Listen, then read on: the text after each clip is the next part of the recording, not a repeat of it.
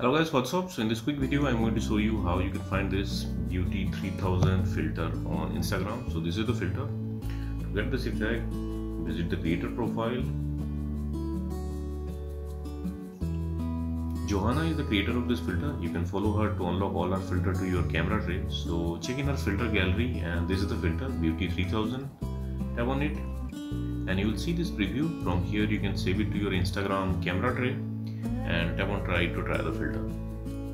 So that's it guys. Likewise you can get this filter on instagram. So thanks for watching the video guys. See you in the next video